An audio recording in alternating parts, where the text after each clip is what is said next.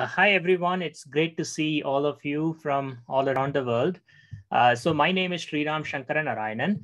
Uh, I'm a professor in the computer science department, and I teach a variety of courses, uh, mostly around algorithms and theory of computation.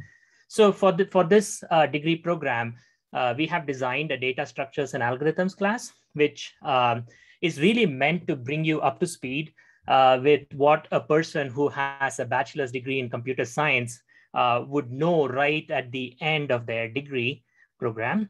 And because this is a master's level class, we have added some more topics which typically wouldn't be covered in a bachelor's level class. So, so it's, uh, it's a lot of material we cover in three courses, each of which is four weeks each.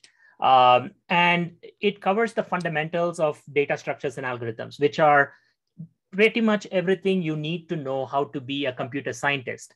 Uh, now, we don't cover programming in this class, so we assume that you know programming in a language. Python is the language we use in this class. So it's, it's ideal to take a Python programming tutorial or a course uh, before you start this class. Uh, and uh, it's going to cover algorithms and data structures. And the main idea is if you think of programming as, as you know, writing a program as laying bricks, uh, this course will teach you how to put those bricks together into interesting pieces that can that can do things like build a, a building, like a, a, great building, right? Uh, and so um, uh, we teach you all of that, and we talk about algorithms. The course is divided into three parts is uh, algorithms for searching, sorting, and indexing. So we, we teach you things like how to do sorting and how to do searching and, and the basics of algorithms. And it's, it's, a, it's a simpler way to start the material. Uh, and you learn things about hash tables, which are extremely important. Uh, and if you're, if you're a newbie to Python programming, uh, this course will also get you uh, started on that a little bit because the, the programming assignments will be simpler. They will not really stress your knowledge of Python.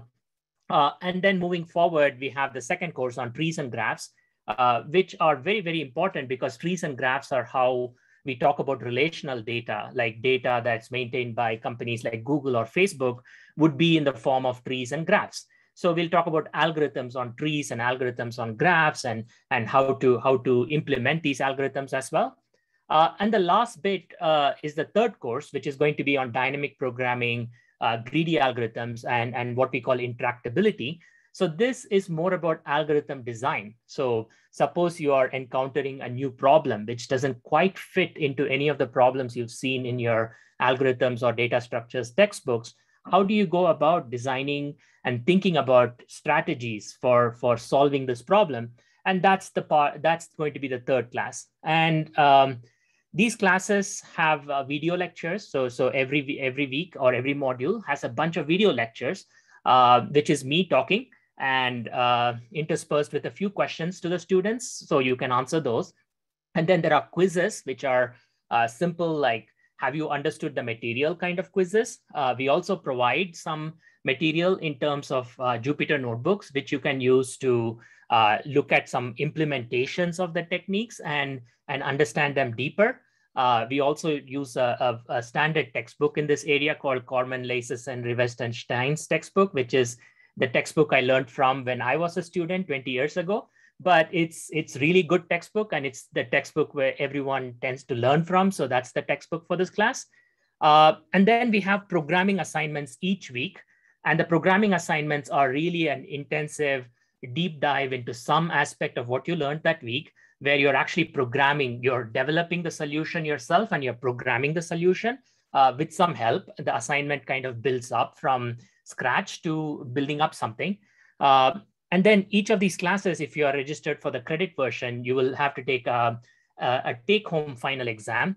Uh, and this one is just uh, you get 24 hours and we give you four problems uh, based on everything you've solved. It's of the same type as a programming assignment and you get to develop solutions for these problems and implement those solutions and test them against the test cases we provide. So, uh, and you get about 24 hours uh, in total to solve it. It typically would take you three or four hours, but you, you can do it over the 24 hour period uh, as a take home final exam.